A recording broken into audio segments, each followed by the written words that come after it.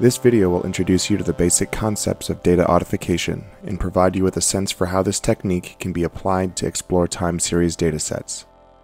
Audification is a process through which scientific datasets are translated into sound, and by listening to the resulting audio, we're able to conduct a high-resolution spectral analysis with our ears.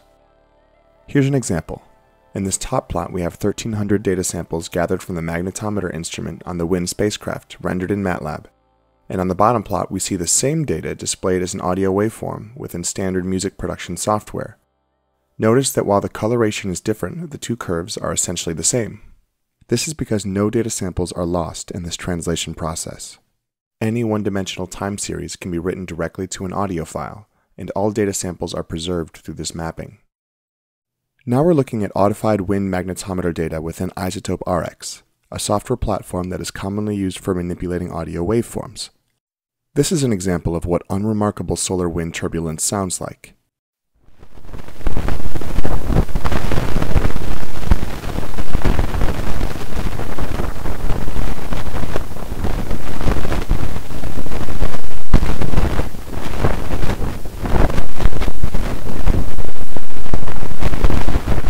Make sure that you're listening over high quality speakers or headphones. Keep in mind that we're listening to the raw data, so it will sound quite noisy.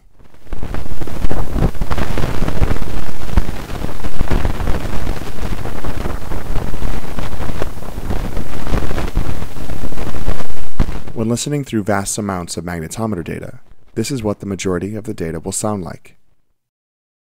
This interval spans roughly 123,000 data samples from solar wind magnetic field measurements gathered by the WIND spacecraft on the 17th of November 2007.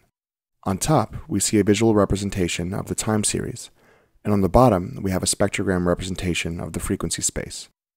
Notice that in both the time series and spectral representation, we can see that there's a relatively low intensity on the left side of the panel and an increase in intensity as we move to the right. What we're seeing here is the shock events produced by a passing coronal mass ejection. This is the spectrogram of the audified waveform, which means that we can now play back the audio and listen to the spectrum as the event evolves.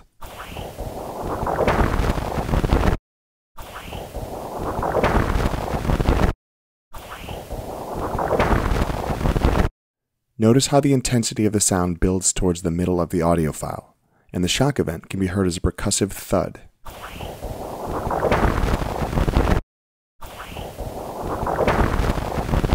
While the audio may initially sound like a jumble of noise, repeated listening can reveal subtle features in the frequency spectrum. For instance, you may have noticed a subtle whistling sound occurring at the beginning of this event.